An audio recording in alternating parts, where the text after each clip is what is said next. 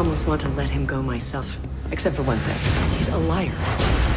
Every single one of us is going to jail because of what you did.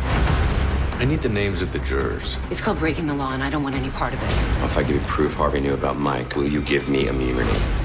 What do you have? Suits, all new next Wednesday at 10 on USA.